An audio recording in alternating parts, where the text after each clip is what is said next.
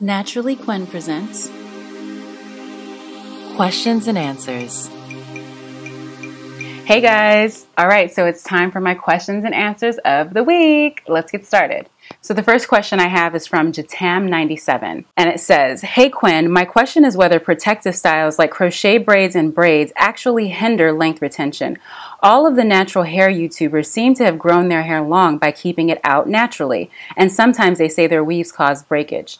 Do you think it's possible to grow your hair with just protective styles? Thanks. So I actually talked about this in my length retention video, and um, yes, definitely those types of protective styles can hinder your length retention. These types of styles mainly become an issue when it comes to improper installations and improper care.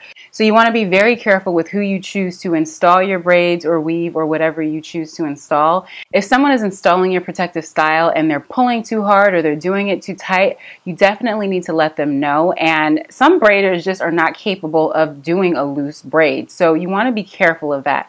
The other thing is is not leaving your weaves, your braids, or anything like that in your hair for longer than like three weeks. And I would say probably even less than that. But with three weeks, you should be good. Keeping my hair free the majority of the time for sure has aided in my length retention because there's no manipulation. I'm not pulling on it. I'm not, you know, doing anything crazy to it. I'm it's just growing. It's just free to grow. So keep that in mind. If you want more information about how I retain my length, check out my length retention video. Thanks for your question.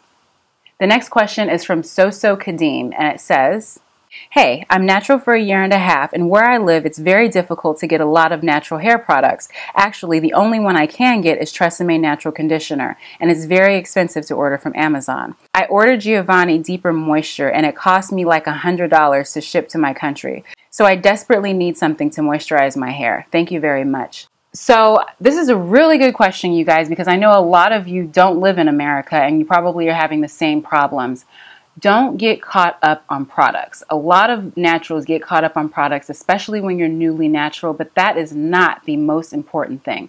The most important thing is how you're caring for your hair. As far as products go, I would strongly suggest using what you have access to. If you have access to conditioner, then use that. If you have access to a leave-in conditioner, use that. I don't know what brands you have in your country, but basically you have to do the best with what you have, and that's it. And I'm sure your hair is going to be just fine with using those things. The other thing is, when it comes to moisture and hydration, water is the biggest hydrator. So, drinking more water and spritzing your hair with water will definitely add to your hair just naturally being hydrated. And if you want to lock in that moisture, you can seal it in with a coconut oil or an olive oil or something like that. Um, I suggest trying like the LOC method, which I have a video on that. I'll post the link to that below and how I do it. And um, yeah, but don't get caught up on products, you guys. It's not that serious. Just do your best with what you have. That's a great question. Thank you. The next question is from Gamern. I hope I said that right. I'm sorry if I didn't. Do you whiten your teeth? Do you use glutathione soap morning and night? And I'm assuming you're asking me for my skincare routine video. So as far as whitening my teeth, I have whitened my teeth in the past, but that was like nine years ago. So currently, no, I'm not doing anything to whiten my teeth. Yes, I use the glutathione soap morning and night. And as far as my skincare routine video goes, I know there are so many of you out there that are asking for this and you want to see my skincare routine, and I am going to deliver it, I promise.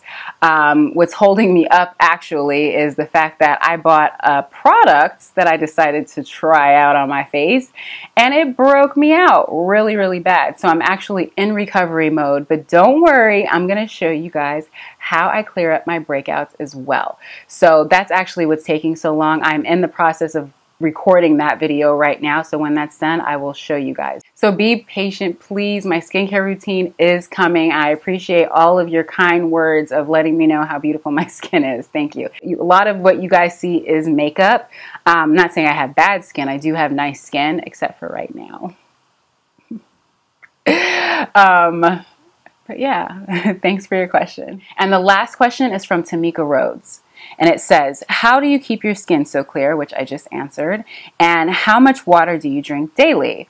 Um, as far as how much water I drink, I try to drink as much water as possible. I feel like it's usually give or take about three liters of water. Um, I don't really drink anything else. I try to stay away from juice and soda. Every once in a blue moon, I might have one if that's all I have access to, but it's very rare that I drink a sugary drink. And I drink a lot of seltzer water. It's like my favorite. I'm kind of addicted to seltzer. And for those of you that are like soda drinkers, but you want to transition over to water, seltzer is probably a good way to start to get used to that taste of like nothingness that water has to offer. so, yeah, that answers that. And one more thing that I wanted to talk to you guys about was about my last question and answer video where I mentioned that I use glutathione. So I said something to the effect of, you know, don't be afraid when you see whitening because it's not going to make your skin white.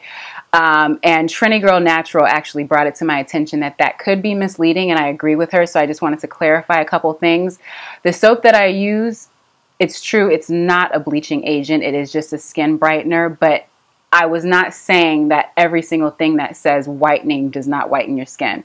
That's not true because some of the things that say whitening do actually bleach your skin. And you definitely want to be careful with any type of skin bleaching agent because it can really cause serious health issues. I just wanted to clear that up for anyone else that has confusion about that.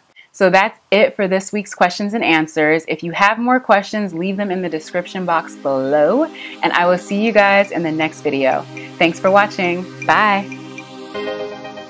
Click here to see my wig application and question and answer videos.